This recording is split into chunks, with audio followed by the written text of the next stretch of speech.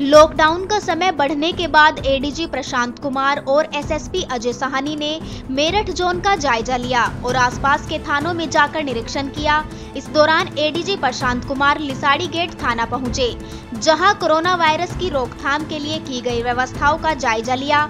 कोतवाली लिसाड़ी गेट थाना और सदर बाज़ार थानों में पुलिसकर्मियों को स्वस्थ रहने के लिए सैनिटाइजर और मास्क वितरित किए।